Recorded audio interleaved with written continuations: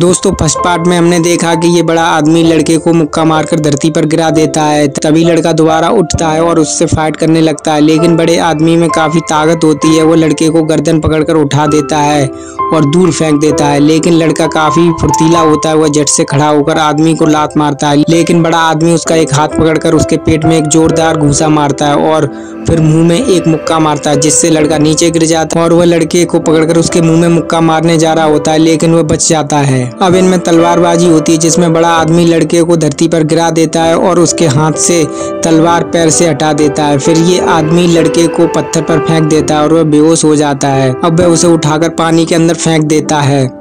और फिर वह पानी से एक लोहे की जंजीर निकालकर बड़े आदमी को मारता है और वह अपने हाथ में जंजीर बांधकर आदमी को मारने लगता है, जिससे बड़ा आदमी नीचे गिर जाता है। अब ये लड़का आदमी पर भारी पड़ने लगता है और अंत में लड़का बड़े आदमी को उसके गले में जंजीर फंसाकर मार देता है।